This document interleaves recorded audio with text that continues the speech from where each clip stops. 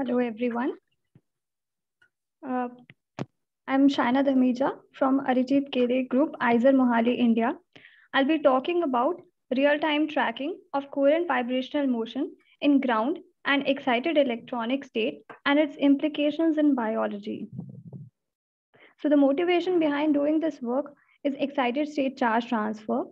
Fluorescent proteins, which are an uh, indispensable biomarking uh, tools nowadays, so first fluorescent protein was uh, obtained from jellyfish Aequorea victoria, and then several uh, uh, mutants were engineered. It consists of a chromophoric unit, which resides inside the beta barrel, as shown here. And the chromophoric unit is formed by an autocatalytic reaction between three amino acids. So uh, it fluoresces basically via excited state proton transfer, as shown here, from the chromophoric unit shown in blue to an acceptor amino acid via the hydrogen bonding network.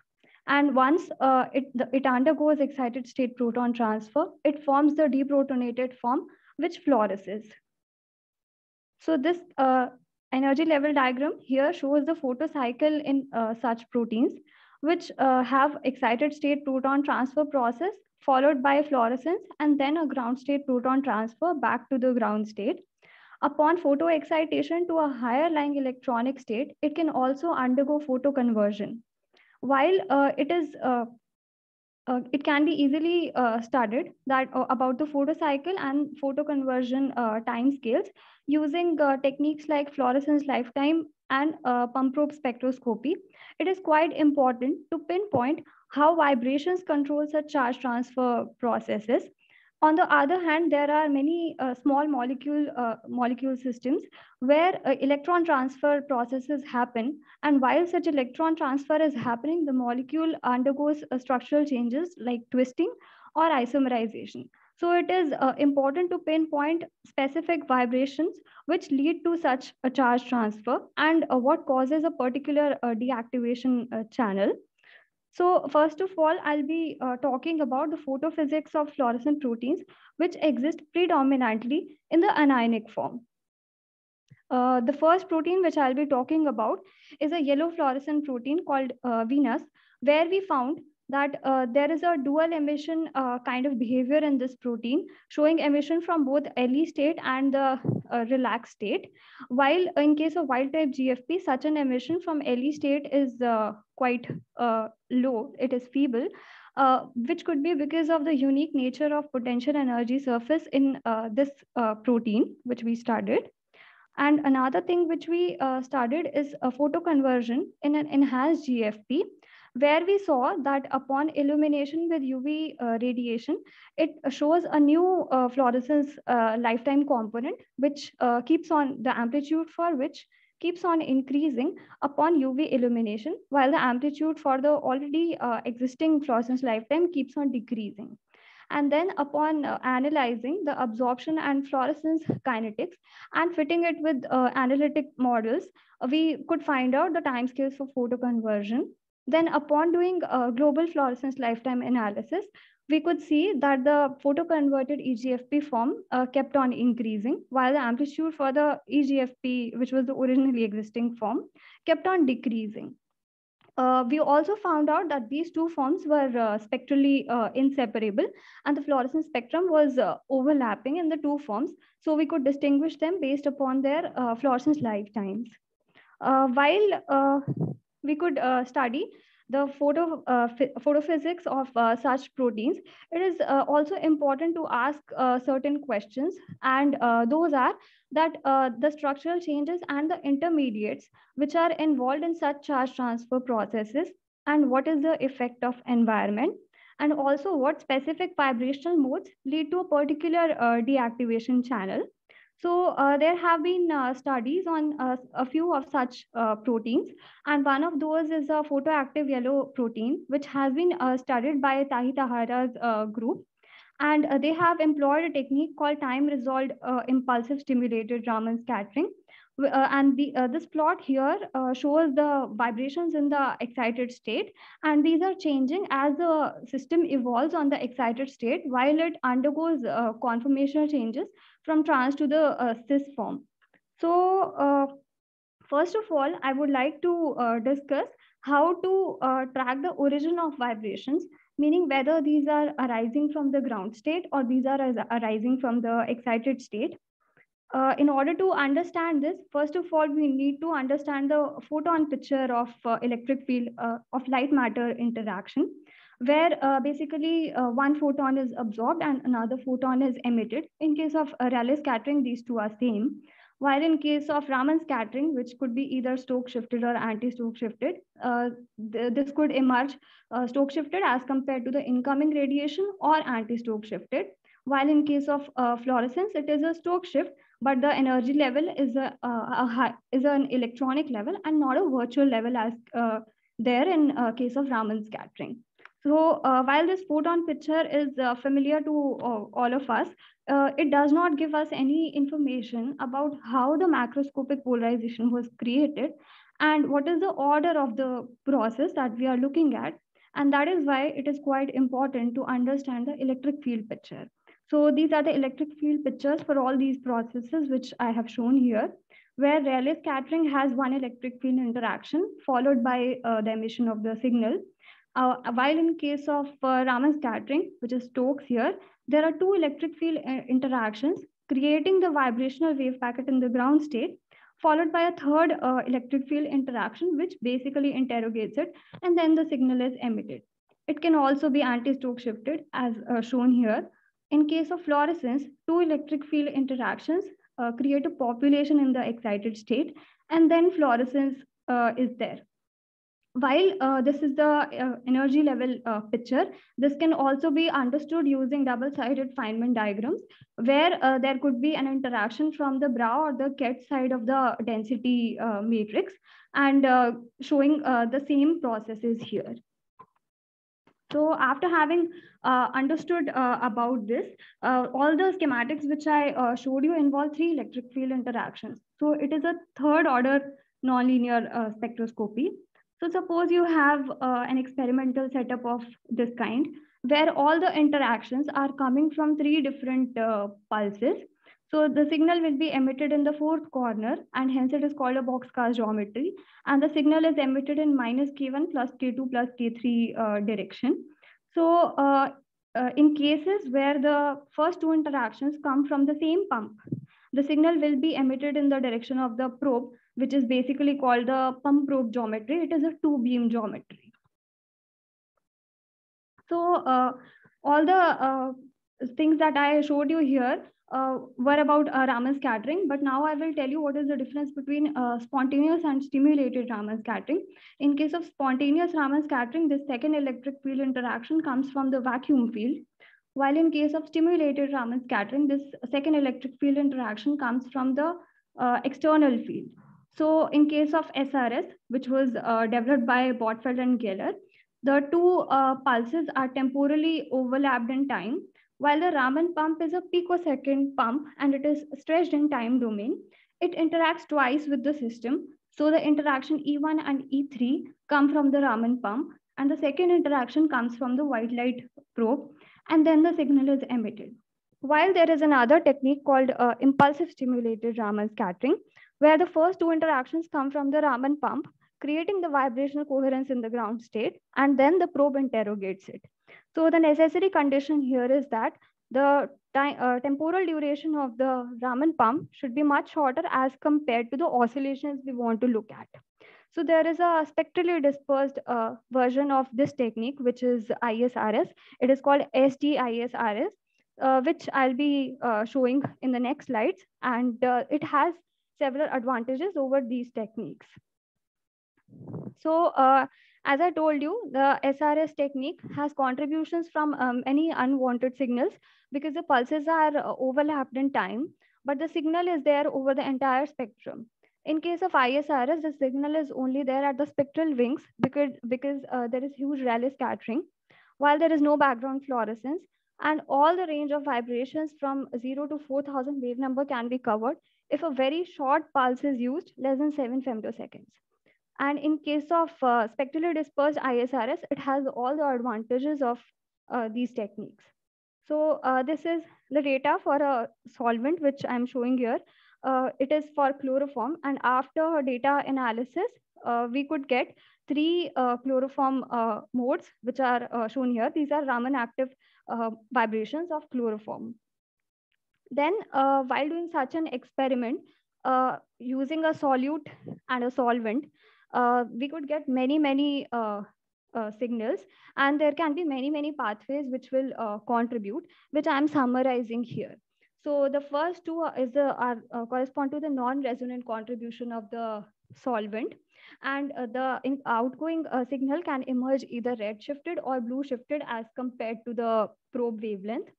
While there can be many resonant contributions as well as shown in the blue box so the uh, uh, the coherence can be created in the either in the ground state as shown here, or it can be created in the ground uh, in the excited state. So uh, and uh, we can also observe population dynamics, and on top of that population dynamics, we will see coherent oscillations, which we want to uh, like get.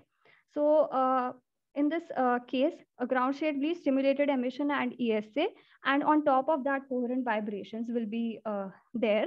So if we uh, observe uh, oscillations in the SE band or the ESA band, then these can be assigned to the excited state vibrations for that particular molecule. If we get it in the GSB band, these can be assigned to the ground state for that uh, molecule which is under study. So uh, the data which I am showing here is for a simple molecule, uh, which is uh, a diatomic molecule iodine dissolved in carbon tetrachloride. And uh, these are the uh, time domain oscillations which we observed. And after uh, Fourier transform, we got five uh, Raman active modes, out of which the first two correspond to iodine and the uh, last three correspond to the solvent. So the first one is the excited state mode for iodine. And the second one is the ground state mode for uh, iodine. And the rest three are solvent modes. We could also see that there is a node uh, in this particular vibrational mode, which is for iodine. And uh, the there is a phase flip around this wavelength, which is the absorption uh, maxima for this particular molecule. So uh, that is why we, uh, we can easily assign it to the ground state mode, and this one can be assigned to the excited state uh, vibrations. We also observed that there was a recurrence uh, feature for this data set, which we didn't know whether we should uh, assign to the vibrational wave packet revival for iodine or but then we figured out that uh, it can be assigned to the isotopologues of uh, the solvent that we were using, which is uh, CCl4. And uh, there are many is and then basically they beat against each other, giving rise to such a, a recurrence feature. And uh, upon summing up across the regions which are marked in these boxes, we got a, an ISRS uh, spectrum. As you can see here, these two modes which are shown, these are quite close in uh, wave number. Uh, so it is very difficult to distinguish uh, these two modes if the probe is not spectrally uh, dispersed, which is an advantage of uh, using this uh, technique. As you can see here, these appear at very, very different detection wavelength of the probe. As you can see here that there is a split line shape here. And the difference is three wave numbers. So three wave numbers basically corresponds to 10 picoseconds in uh, time domain. And that is why we observed a recurrence feature, which I showed you in the earlier slide. So uh, I told you that uh, in case of uh, degenerate kind of ISRS experiments, there is a huge Rayleigh scattering, which is shown here. And then the, I told you that uh, there is an advantage of using a white light uh, probe, but uh, using a chirped white light probe has an uh, additional uh, advantage, which I will uh, tell here. So the, these two schematics basically show a degenerate kind of ISRS experiment, and the signal can emerge either red shifted or blue shifted, and these two pathways contribute equally. While in case of a white light probe, which has a, a flat spectral uh, profile. So the red part of the probe and the blue part of the probe contribute, uh, uh red part and blue part of the uh, probe, they contribute equally, giving rise to a signal uh, which is emitted at same detection wavelength as you can see here. But if the probe is not chirped, then this blue part and red part, these will arrive at the same time. Then these two pathways will destructive, uh, destructively interfere and we won't observe anything. So it is necessary uh, to have an optimal chirping of the probe to uh, get some vibrations or to enhance uh, some specific uh, vibrations. So uh, then we extended this work to polyatomic molecules where we could, we could capture some of the vibrations. This is the data for Nile blue and methanol where we could capture a ring breathing mode and compared it with DFT calculations as well. So uh, the same technique can be extended uh, in the excited state. So whatever process I described can be done in the excited state also. There will be an additional actinic pump followed by Raman pump and white light probe in order to study the structural dynamics in the excited state. And uh, right now we have been uh, doing this uh, technique and we have been implementing it on uh, these molecules. So the first one is a push-pull uh, stilbene where there is an electron transfer from one end to the other end. While such electron transfer is happening, there is isomerization or twisting. So we want to know which vibrations lead to isomerization or uh, twisting in this molecule and then we'll be extending it to photoswitchable fluorescent proteins, which photoswitch upon uh, irradiation with a light of particular wavelength and the uh, chromophore also changes its conformation and we want to track the structural dynamics. So uh, I would like to thank my lab members, IISER Mohali, and the organizers for uh, giving me this opportunity to deliver this talk. Thank you. Thank you, Shaina, for this uh, very dense uh, talk with a lot of techniques. You did a lot of work. Uh, the um, paper the presentation is now open for questions from the audience, if any. As usual, you can use the chat or you can uh, just uh, switch on your microphone and ask.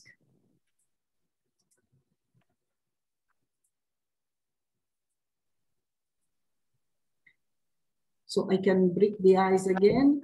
Um, when you go from iodine to Nile blue or uh, more complex uh, structures, uh, is there a problem with having uh, too many modes, or too dense spectra, or uh, uh, is rather easy for you to, to deal with 3n minus 6 vibrational modes? yeah as the as we go on from diatomic to polyatomic molecules it is uh, like difficult since there'll be many many uh, vibrational uh, modes and then those have to be assigned so we have to simultaneously do theoretical calculations and then assign which uh, particular modes uh, correspond to which uh, vibration and then it becomes more complicated as the system undergoes some kind of uh, structural changes as well so yeah, it is complicated. Thanks. I see a question from Giovanni Bressan. Giovanni, can you switch on your microphone and ask the question or should I read it?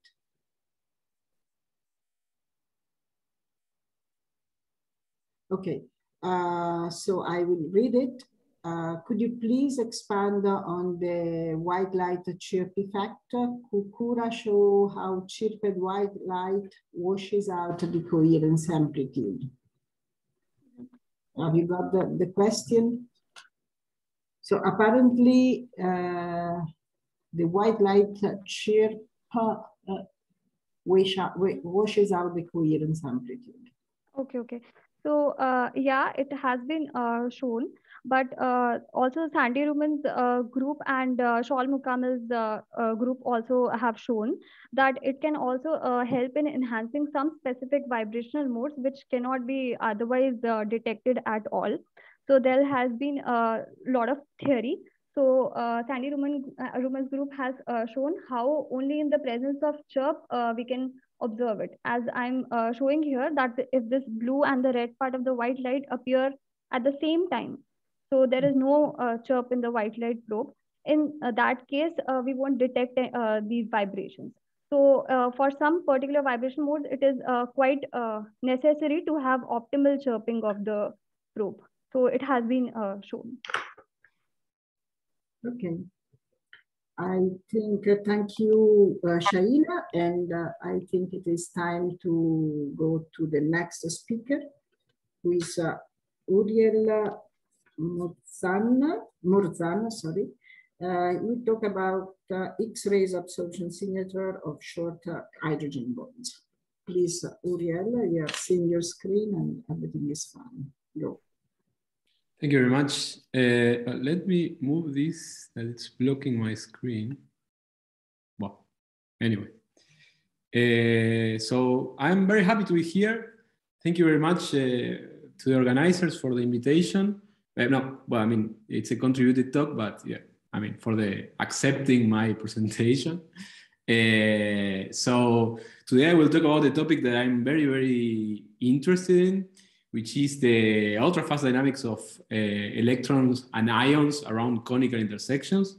And in particular, I will talk about the role uh, of the strong hydrogen bonds in determining these, uh, these dynamics. So, okay. So, conical intersections are extremely important for photochemistry and photophysics. They are very, very fundamental uh, to determine what happens in photochemistry and photophysics. So basically, these are just points in the energy landscape in which we have a, a degeneracy between two or more electronic levels. So in these points, we can have a non-radiative decay, non-radiative relaxation from an excited state to a lower lying excited state or to the ground state, okay? So of course, the presence of these conical intersections in the energy landscape determine like a lot of what's, what's going on, what will happen in the photochemical process. So one of the things I am very, very fascinated about is with the possibility of uh, controlling the shape and the position of conical intersection and hence controlling uh, photochemistry somehow.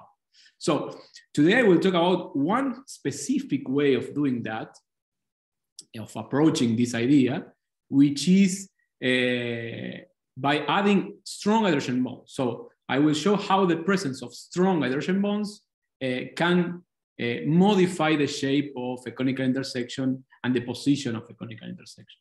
And then I will show some optical properties that are derived from this phenomenon, okay? But first, okay, this is more or less an overview of the talk, okay? So first, let's uh, uh, discuss what is a strong hydrogen bond.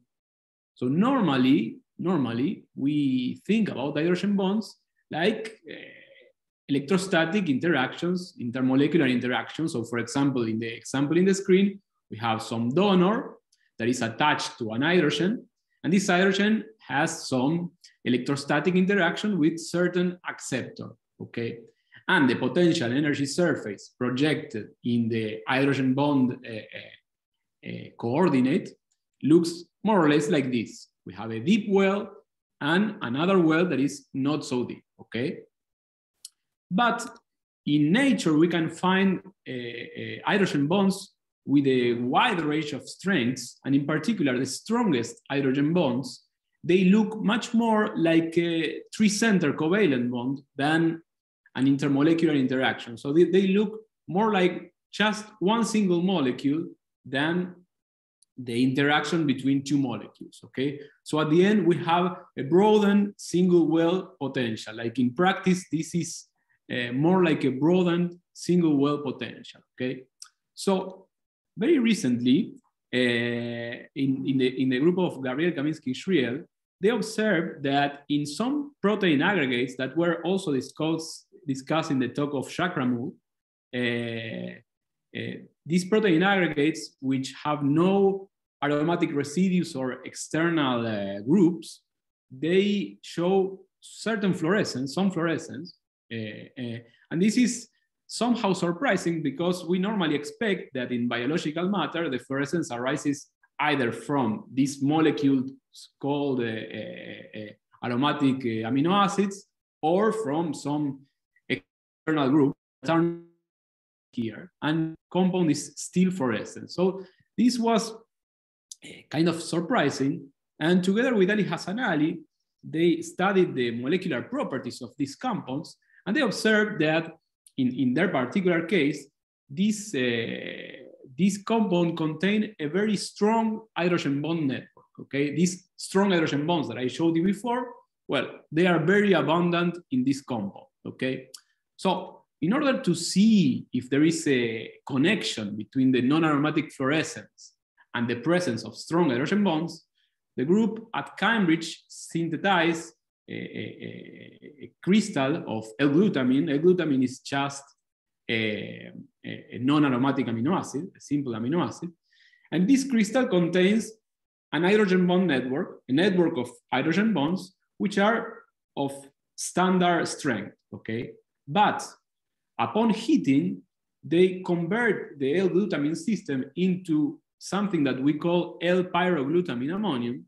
And this L-pyroglutamine ammonium contains a very strong hydrogen bond network, okay? So both of the systems are non-aromatic. The main difference is that in the case of L-glutamine, we have a normal hydrogen bond network. In the case of L-pyroglutamine ammonium, we have a strong hydrogen bond network. As a consequence, and at variance to what happens in the case of L-glutamine, uh, in the case of L-pyroglutamine ammonium, the system is fluorescent in the visible range, okay? So in principle, this tells us that there should be a connection between the non-aromatic fluorescence and the presence of strong hydrogen bonds. But which is this connection? So uh, together with Gonzalo Diaz-Miron, who is a PhD student in Argentina, so we did uh, some ab initio non-adiabatic molecular dynamic simulations in which we computed the non-radiative decay probability as a function of time evolution in the first excited state. And we did it for the fluorescent system, but tuning the hydrogen bond strength to different uh, uh, uh, strengths. Basically, for example, in the, in the blue curve that you see in the screen, we have a very weak hydrogen bond, and you see that the non-radiative decay probability increases very fast during the first femtoseconds of the simulation, okay? But when we gradually increase the hydrogen bond strength, the non-radiative decay probability decreases, and when we reach the level of a strong hydrogen bond, the non-radiative decay probability is very low, and hence the lifetime in the excited state is higher, and hence the probability of fluorescence is high. So this shows the link between non-aromatic fluorescence and the presence of strong hydrogen bonds.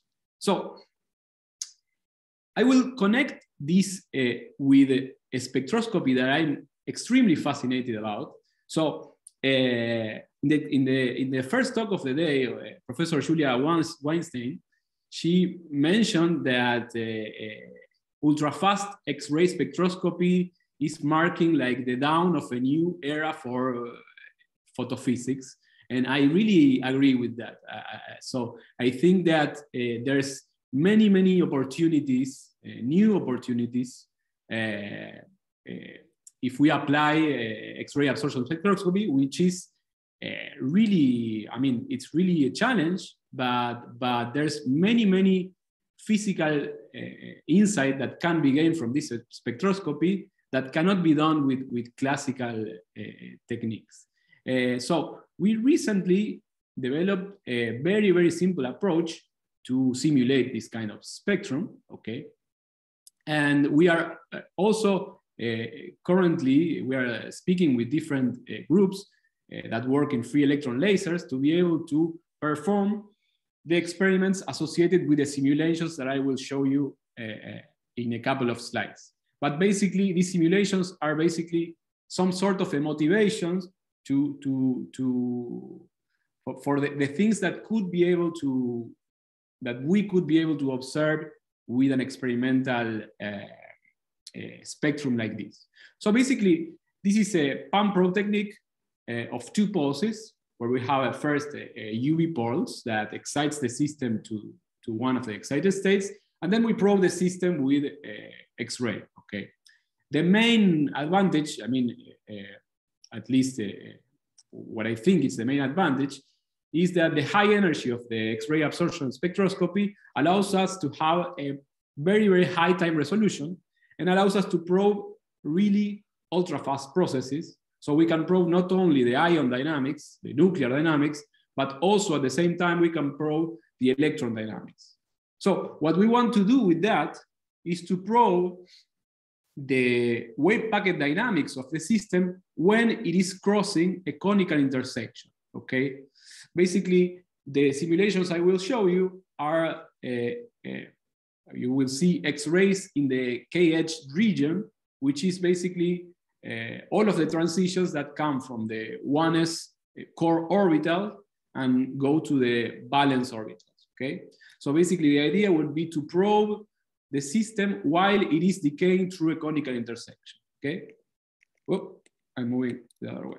Yeah, so this is an example of uh, uh, uh, an ultra-fast X-ray absorption spectroscopy spectrum, okay?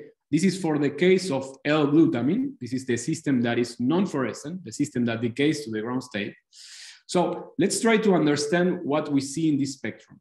So first we have two bands, two big bands, okay? One is associated to the excited state. So this is the UV excited state, okay? And this is, so this is the X-ray response of the UV excited state. And this is the X-ray response of the ground state, okay?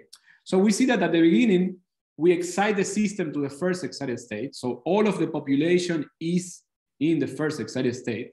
And as time goes, goes by, the system decays to the ground state.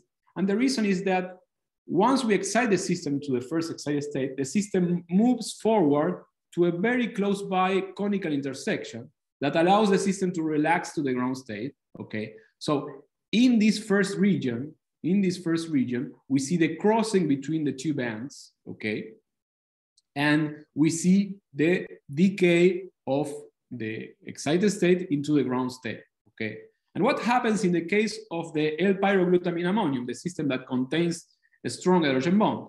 So as I told you at the beginning, because the ground state potential energy surface is broadened, okay, uh, in the case of the strong hydrogen bond, the conical intersection lies further away and higher up in energy. So it's more difficult for the system to reach this point, okay? And hence, the lifetime of the system in the first excited state is much higher. So at least in this simulation time, uh, we don't see a decay of the of the of the band to the ground state. And maybe I, I skip the part of describing the, the, the spectrum. So this this line, this uh, the horizontal axis is time, and the vertical axis is energy. Okay. So with this technique, we can differentiate the presence of a strong hydrogen bond with respect to a standard hydrogen bond, okay? So I think I don't have enough time to describe this part in detail, but I just wanted to mention that we developed a very, very simple uh, unsupervised machine learning approach in order to study both the electron and the nuclear dynamics along the conical intersection. So what is the system doing in order to transfer to pass the conical intersection. Okay, so from a nuclear point of view, we observe that most of the motion is located around the hydrogen bond. Okay, again, this is the glutamine, the system that contains a standard hydrogen bond, and the main motion that the system does when it crosses the conical intersection can be separated in three parts. So one part is an intermolecular separation between the two uh, hydrogen bond, between the hydrogen bonded uh, molecules. Then there is a reduction of the strength of the hydrogen bond coupled to a CO stretching in the acceptor part, okay?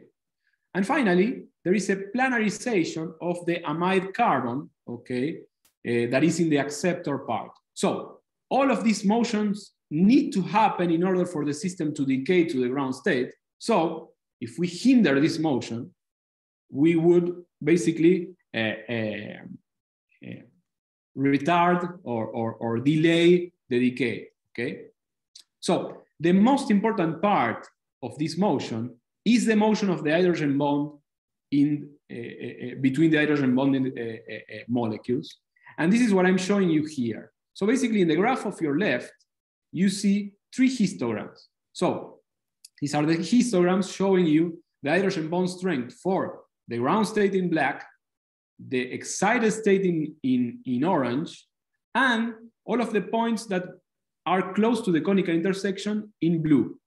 So there's something very interesting here. So when the system goes from the excited state to the ground state, the hydrogen bond strength decreases, so the hydrogen bond distance increases. But first, the hydrogen bond strength, before it goes to the ground state, it first increases. In the conical intersection, the hydrogen bond strength is the highest, and it is entering the region of the strong hydrogen bond. So here in pink, we see the region of strong hydrogen bonds.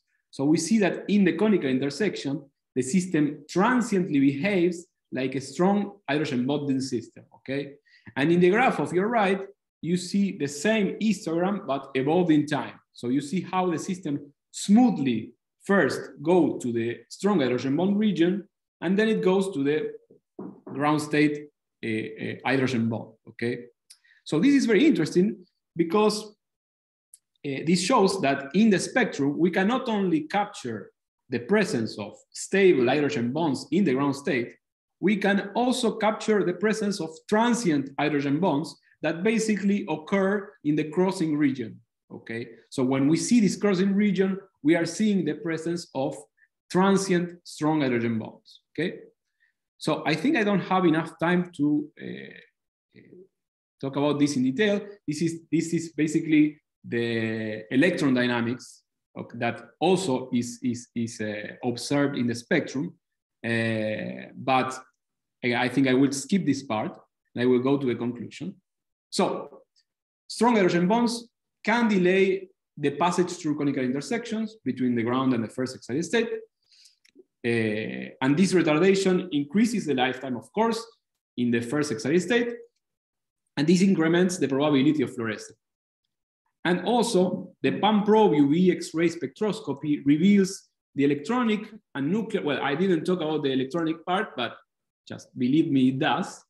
The electronic and nuclear ultra-fast dynamics along conical intersection, showing a, a, a unique signature uh, of the presence of uh, strong hydrogen bonds, both, both uh, uh, uh, stable and transient.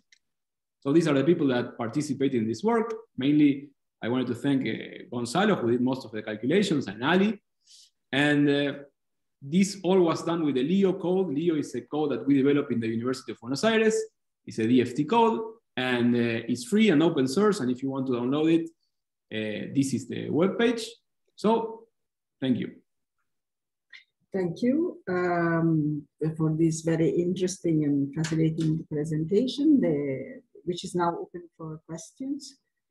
Again, you can write on the chat or simply switch on your microphone. I had a question for Uriel. Um, I have a curiosity or yeah. possibly a nasty question again. Um, you convinced me that uh, when you go from a conventional to a strong hydrogen bond, you increase the lifetime of uh, the excited state. And this is good because this suggests that maybe the state uh, can fluoresce.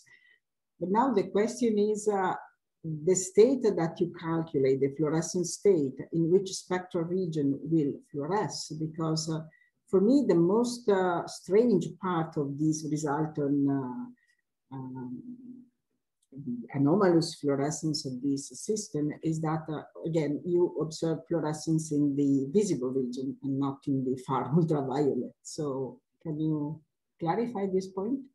No, I mean, it, it, it's just so. So the fact is that in the experiments, uh, we see that this fluorescence is visible. I mm-hmm. mean, uh, it shouldn't necessarily be the case, but in principle, this is what they what they observe. This is not so. We didn't focus on this part, uh, on, on mm-hmm. the part of the of where the, the fluorescence comes, but uh, so what I can tell you is that this the the, the, the so the part of the spectrum where the fluorescent, uh, the fluorescence arise uh, is very consistent with also with the calculation. So, so it's, it's something that we are capturing in the calculation. So, but so the explanation why it goes, why, why it falls in this part of the spectrum and not in another is something that I, I, I, could not answer. And I think it's a very interesting thing to, to try to to to disentangle, to understand. But you say that you calculate more or less in the proper uh, spectral window. Yeah. This is already very interesting. Other Yeah, so- questions? Uh, I do not see any. Do you see any more questions? uh, Any more raise hand? It seems not.